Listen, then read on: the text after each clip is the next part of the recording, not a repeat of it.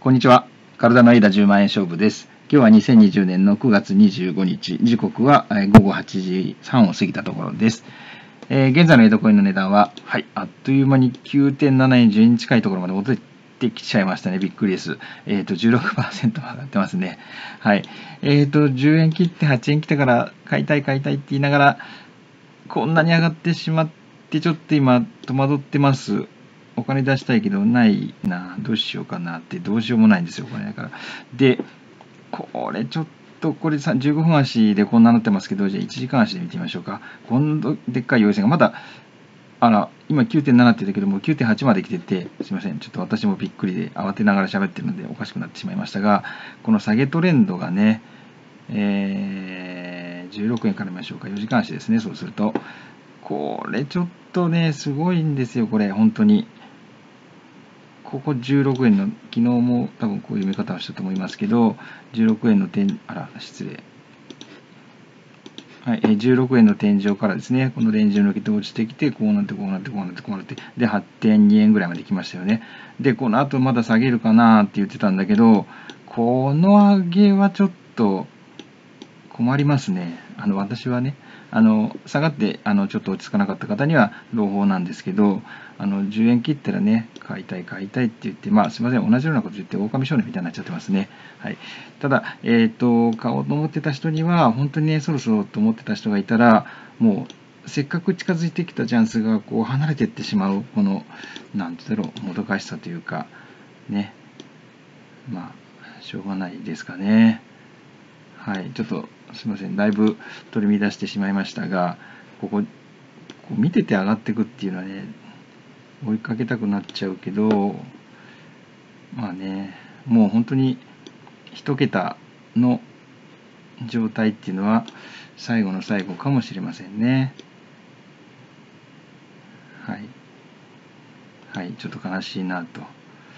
えー、こんなね来ないと思ってたチャンスが来てそろそろかなと思って腰を上げるか上げないか考えているうちにもうチャンスが逃げてってしまうという、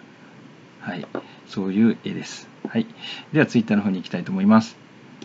はい、えっ、ー、と、コインポストからですね、9分前のツイートで、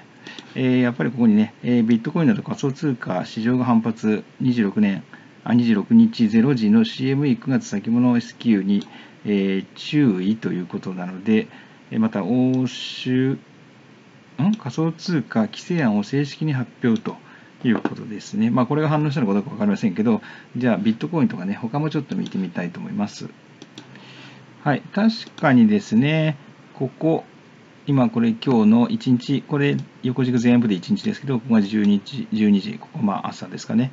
えー、で、ここ今もうじき24時になろうとしてるんですけど、今、ここのね、えー、この1時間、2時間、3時間ぐらいでポンと上がってると、ここも上がってると。リップルなんかポーンと24.5円、1円ぐらい上がってると。ビットコインキャッシュも全部上がってる。ライトコイン、それでも3%。じゃあ、カルダナはどうなってますか？と言って下の段に行きますと、はい、カルダナだけ、カルダナだけね、16%と、しかも1日ずっと朝から上がってると。えー、そういう絵になってるのはカルダナだけですね。はい。まあ、いずれね、上がってくれないと我々は困るわけですけど、うーん、ね、そういう優柔不断さも反省の材料ですかね。はい。まあ、10円以下がね、本当に買いどころかっていうのは私がずっと言ってきただけで、私の思いですからね、とても、あの、それぞれ皆さん考え方が終わりでだと思いますけど、10円を超えたら、まあ、買っちゃいけないかな、いけないことはないですね。えっ、ー、と、買わない方が自分の、その、プレセールより後で入ったものとしてはね、えー、とちょっとあんまり、えー、頑張っちゃうといかんかなと思います。はい、ということで、まあ、上がってると言いましたけど、体の上がりようはね、ちょっと特別だったみたいです。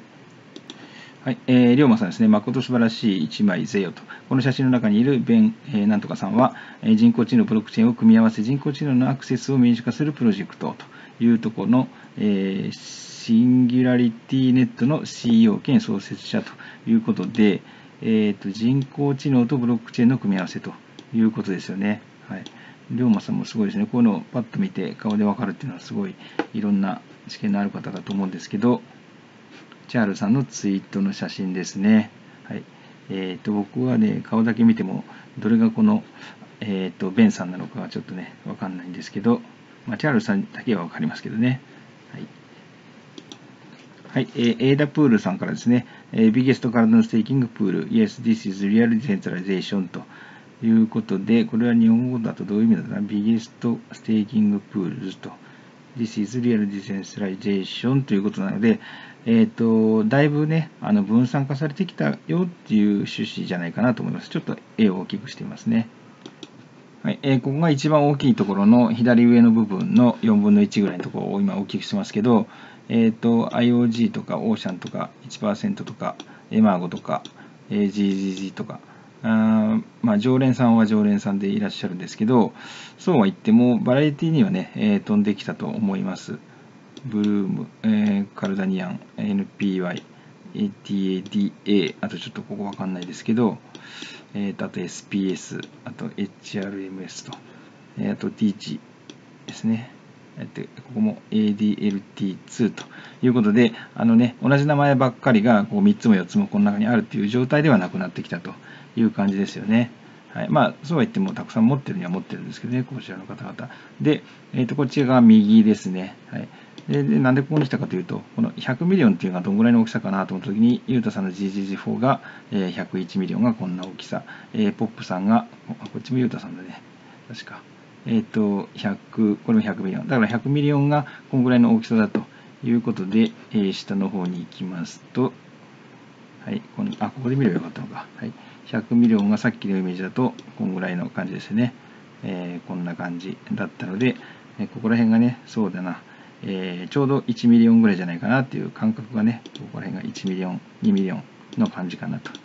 いうふうに見ることができると思います。だから、1ミリオンないプールもいっぱいあるので、ね、ここにたくさん1ミリオン未満のものが隠れているというような絵になると思います。全部で1100ぐらいでしたね。はい。やっぱりまあ結論としてはね、分散化がどんどん進んでいるし、あのプールもね、まあ、私もこの中に入れれば入りたいけど、そこまで力があるかというと分かんないですけど、あの実際にね、プールをやろうと思って活動されている方がね、いっぱいいるのは、あの SNS を見てれば、えー、把握できるので、まだね、日本人も世界中からもいろいろね、ここにどんどんどんどん入ってくると思います。はい、えー、っと、クリプト組長さんですけど、えー、世界中からアイデアが集まったのはすごい価格は下がっているけど、ここからさらにエイドの開発がいい方向に進んでいけばいいですねっていう、ゆうたさんに対してのリツイートで、ゆうたさんはアイデア、えー、カタリストのアイデアは大成功、そして本格提案フェーズが始まりましたということで、ステップがね、進んでいるということです。で、516のアイデア、2045のコメント、1860のメンバー、世界中からのコメントということで、えー、こちらを見に行くと、キャタリストのところに飛んで、はい、えー、ここ体のページでキャタリスト、え動画本格提案フェーズが始まりました。提案者は提案を投票者は提案にコメントをして提案者を助けましょうということで、えー、特に本格提案の予定はなく投票して投票報酬を得たいだけの場合はまだ特に何もしなくても構いませんが、できれば提案を見てその改善を助けましょう。すでに20本の本格提案が提出されていますということですね。ここに動画があって、えー、大規模な参加ということですね。で、こちらで、えー、これからね、今どういう状態になってて、これからどうしていけばいいのか、どういうふうに参加すればいいのかっていうのがね、えっ、ー、と、ここかな。ここまでと、あとここにね、もう一個、えー、これ、あ、ここじゃないかな。この記事じゃないかな。はい。キャタリストについては、ゆうとさんがね、いくつか話されてて、えっ、と、あ、その人だね。えっ、ー、と、キャタリスト進め方全体像、通常の ADA ホルダーが参加必須なのは、6ステップ目の156だけと、まあ、必須って言ってもそれはもちろん自由なんですけど、えっ、ー、と、ここにね、ステップと、えっ、ー、と、どういうふうに参加すればいいですよ。えっ、と、わかんないけど、まあね、あの、提案するんじゃなくて、見てる方として参加するには、ホルダーとして参加するにはどうしたらいいかっていうのが、ここにありますので、これはちょっとリンクをつけときます。はい、ではネタに戻ります。ああ、もう9.89円になってしまいました。